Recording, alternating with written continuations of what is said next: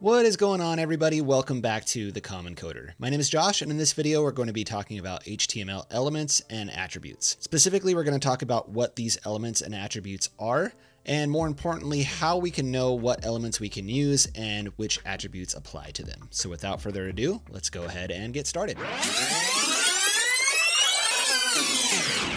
Alright, so there's not really any prerequisites for this video, but to get the most out of it, I'm going to recommend watching the video I'm going to link inside of the card up here in the corner or down in the description, just to familiarize yourself with what HTML is and uh, have a little bit better understanding of how it's used and why it's important. But by no means do you have to be an expert, you just have to have a general understanding of what the language is used for, which I cover in that video. Alright, so to recap some of the information in that video, HTML is made up of tags, and typically there is a start tag and an end tag, thus usually coming in pairs. So we can see this example here with the paragraph. We have an opening p tag, which is uh, a paragraph in HTML, followed by some text content. This is this is a paragraph, and then we have a closing p tag here, which basically takes the form of the tag name preceded by a forward slash.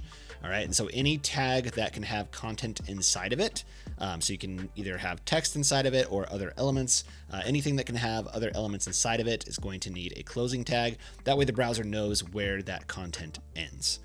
Now, HTML tags can also be self-closing, which essentially means that they don't contain any content. The tag itself is just a tag, and it's used to render something onto the screen, uh, but it doesn't have anything inside of it, doesn't contain any text, doesn't contain other elements. It's just the element itself. And a good example of that is an input tag. So an input tag is something that you would use on a form, for example, to put in maybe your first name or last name, an email address, things like that. It doesn't contain any content inside of the tag. And so for that reason, it is self-closing, which we can see indicated by this forward slash at the end of the tag here. Now, as per the HTML5 spec, this is actually not required. It's just kind of a habit that I've done since I've been doing this for a very long time. Uh, but it's totally okay to get rid of that and just have the tag itself be just the name of the tag. And so it kind of looks just like the opening tag. It looks a little bit weird, but the browser intrinsically knows, hey, this thing is an input tag. It never contains any content, so I don't need to worry about that tag being closed essentially. So the forward slash is just kind of a leftover uh, relic from the HTML or XHTML days. Um, which you can learn a little bit more about by checking out this video that I have up in the right hand corner. All right, so the tags themselves then are used to create elements. So the tags themselves aren't elements. Uh, however, when they are rendered to the screen uh, inside of the browser, they essentially become elements. So the use of HTML tags essentially creates elements that, that we can work with and interact with on a web page. All right, so now let's talk about attributes. So all HTML elements can have attributes, and attributes are used to change the behavior or add information to an element. Now, the types of attributes that you can use really depend on the element that you are using, uh, but there are a certain set of attributes which are referred to as global attributes that can apply to any element. So if we take a look at the paragraph examples, just a slightly more complex uh, example than we saw before, we can see that we've added an ID here set to the text of my paragraph. So an attribute always takes the form of attribute name equals and then some value. Um, there are attributes where you can just add the attribute to the tag itself. Disabled is one that you can use for input elements that will disable that element on the form. And you don't need to actually provide any type of value. You just need to add the attribute itself. So there's a handful of those where you don't need to specify any type of value. Uh, but for the most part, they're going to take on this form of name equals some kind of value. And the value is going to always be wrapped in quotes, so that way we know uh, where that attribute value stops and ends. And you can have multiple attributes on an HTML element. So you can have an ID, and you can have a class, and you can have basically any amount of attributes that that HTML element supports. Now there are element specific attributes which you can only use on a particular type of element. So for example, down here, we can see that this input does have an ID, which is the same as the paragraph. Notice that the ID is different because per the HTML standard, uh, you can only have one unique ID per page. So obviously it wouldn't make sense for this paragraph uh, with the ID of my paragraph to be used as an input. Uh, that doesn't really make any sense, um, but just know when you use an ID, it needs to be unique uh, across that page that you're looking at. But notice it also has this type equals text, and this type attribute is specific to an input element, um, and it takes different values that you can use for the input type that you are trying to use. And so a couple different input types. There's type text, which is going to be a text box. There's type radio, which is going to render a radio button. And there's a several others. So the big question is, how do we know what elements we can use? And more importantly, how do we know which attributes that we can use on those elements? And for that, we're going to take a look at and introduce something called the MDN web docs, which can be found at this URL here, https colon slash slash developer.mozilla.org. All right, so here I am on the MDN web docs page, formerly known as the Mozilla Developer Network. And basically, this is the de facto documentation for anything related to web technologies. So, specifically HTML, CSS, and JavaScript, uh, but there is some other good stuff in here as well. And what we can do is go over to references, and you can see that it has all of the various web technologies uh, broken down by section. And specifically, what we're going to do is look at this HTML section here. And this will give us all kinds of information about HTML. So you can get a brief overview. There's an introduction to HTML, talks about multimedia, discusses HTML tables. So there's a lot of information in here as it relates to working with HTML. However, specifically what we're interested in is this section down here that says references. And you'll notice that there is a section for HTML elements, there's a section for global attributes, and there's a section for attributes. So we're mainly going to be focused on these first two um, because the global attributes, like we mentioned, could be used with any HTML element. However, this attribute section doesn't give us uh, an attribute list breakdown per element. So for that, we need to look at the element section itself. So let's go ahead and take a look at that real quick and click on elements.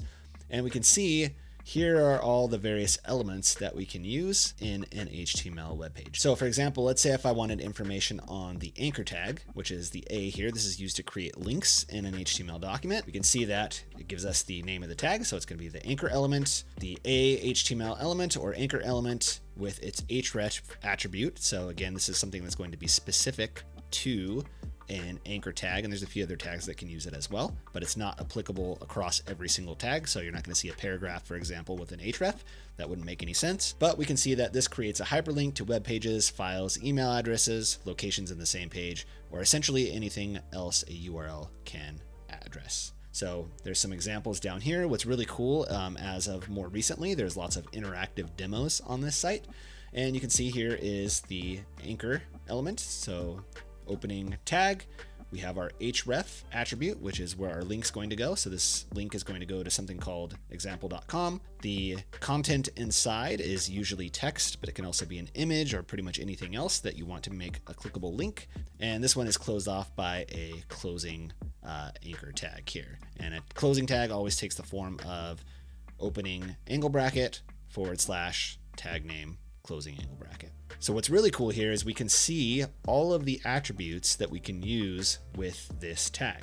So we can see there's one called attribution src, there's one called download, here is the href, and it gives you a description of each. So the href is the URL that the hyperlink points to. Links are not restricted to HTTP based URLs. They can be any URL scheme supported by browsers. You can specify the target, so how you want that link to open. So self will open in the current browser blank will usually open a new tab. You can also pass in the type. So if you're passing in a link to a document, for example, you can pass in a hint to the URL's format with whatever that content's MIME type is, which just helps the browser understand what it is that you're linking to. And you can see there's also some deprecated attributes here as well. So lots of information. Uh, for the most part, you know, you're not going to really use a lot of these other attributes uh, for an anchor element. The most common one is going to be an href. But this is how you would see which attributes that you can use for a particular HTML element. So for example, let's go ahead and take a look at another one. Let's take a look at our paragraph that we saw before. So let's find our p tag and we can click on attributes over here just to jump down to the attribute section. And notice that this one, this element only includes the global attributes. So a paragraph tag doesn't have any element specific attributes that you can use with it. Uh, only the global attributes apply. And so you can see we have a link to the global attributes here. But what I'm to do is go back up to the sidebar so we can see just how to get there. We can see this global attribute section. So if we go ahead and click into here, these are all of the various attributes that you can use with any type of HTML element. So there's an anchor element, so you can actually link with an anchor tag uh, to a particular element within the page. So you can use an anchor to do that. Um, you can autofocus a particular element, so like a form, for example, when the page loads. Uh, you can use these data dash attributes to add additional information and context. It's very helpful for working with JavaScript if you're not using a uh, JavaScript framework like React or Angular or Vue. And there's a whole bunch of other ones. Here's the ID, and each one of these you can click on it. And notice for ID, the ID is a global attribute that defines an identifier, which must be unique in the whole document. Okay, so it doesn't have to be unique across your whole entire web page or web application, but for the information that is rendered, it needs to be unique uh, for the browser to recognize it as valid. Now, it's not going to break if it's not, uh, but it's just considered bad practice. And if you are trying to do anything with styles or scripting and you're referencing that uh, ID, it's not going to know what to do because it's expecting there to only be one. So you can see there is a lot of other attributes that we can take a look at. Another common one that you'll see a lot is going to be class. This allows you to specify the name of a CSS style that you want to apply to a particular element. So for example, you can see here, this paragraph has a class of note and a class of editorial. And this is actually being used to render this in a different color and a different font. So if we take a look at the CSS, it's gonna be out of scope for this video, but just so you can see, we have these class selectors here. So we have this dot editorial, which basically means any element that has this class on it, go ahead and apply this styling. And we can see also the same thing for the note. So the font style is going to be italic and the weight's going to be bold.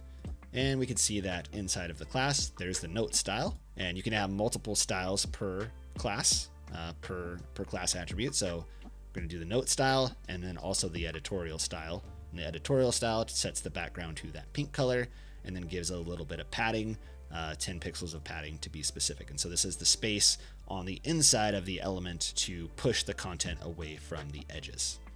All right, so this is not a course on CSS, but just so you can kind of see uh, what these various attributes do and how you can use them. And you can see there's a whole bunch of different attributes that you can use, and you can click into each one and see information about what that attribute does and how to use it.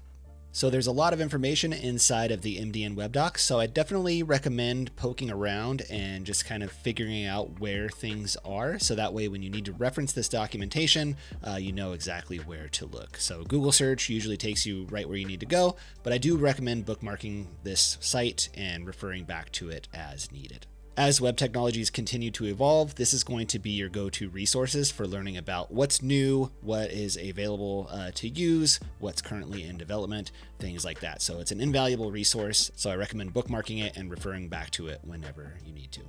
All right, and that's going to go ahead and do it for this video. Thank you so much for coding along with me today. If you like this video and found this information valuable, please give me a like down below. And if you're new here, please consider subscribing. We're going to be learning a lot more about HTML, CSS, JavaScript, and pretty much everything else in between. So if that's what you're into, I would love to have you along for the journey. So until next time, be sure to stay curious, never stop learning, and I will see you all in the next video.